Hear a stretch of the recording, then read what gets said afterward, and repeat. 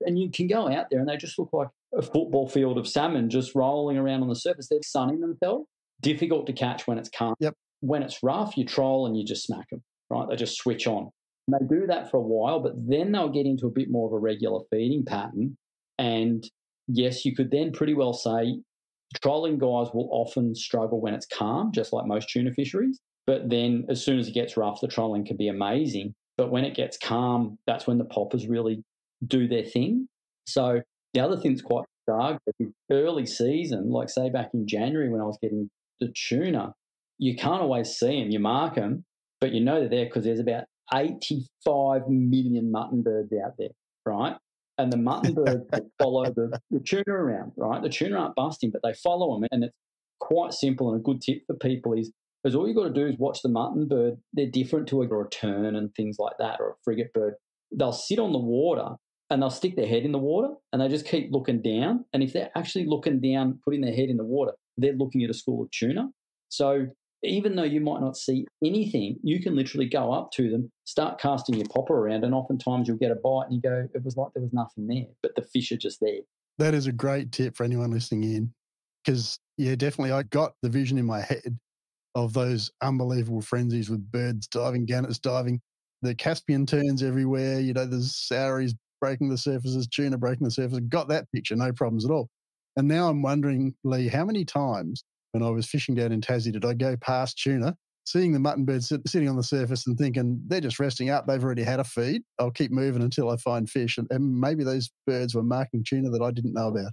Yeah, quite possibly, mate, quite possibly. And it's a bizarre fishery. And they do bust up here during the warm months and they do bust up during the cooler months and all that sort of stuff. But just because they're not busting up doesn't mean they're not there. But again, it's quite bizarre, Greg, that they can be, you can drive over those birds and sound over them. And the tuna are sitting 10 to 15 meters down, and you can pull a spread of lures over them and they won't eat it. But then you pull up, sit off a patch, cast into it, and you get bit with a popper.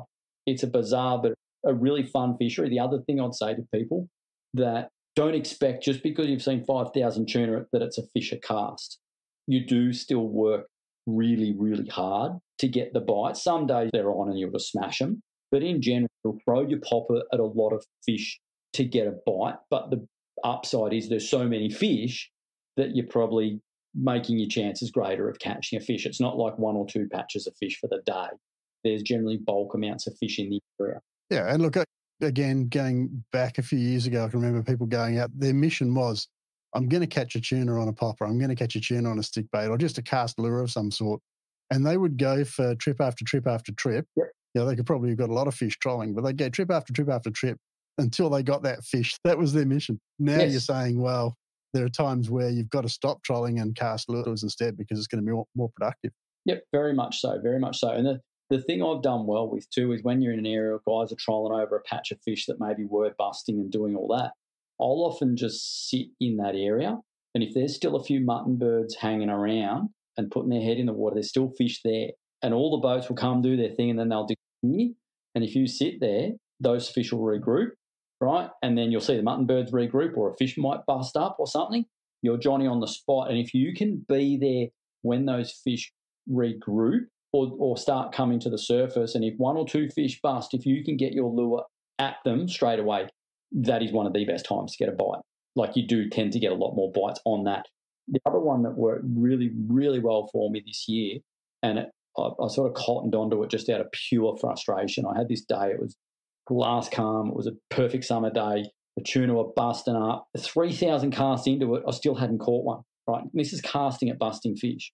And in pure frustration, in the end, I was just sitting there, and the school had moved off, but there was probably half a dozen mutton birds sitting on the on the water, and they kept putting their head in the water. And I'm talking, this is a minute to two minutes after the school had disappeared. And I've gone, oh, bugger it, and I've just cast back and I've hooked up straight away. And that day, every fish I got was off basically the back of the school. Once the main school had gone through, I was picking up the stragglers or something like that. So I really started to focus on that through other parts of the season, and it proved to be super effective, Greg. Like super effective way to catch the fish.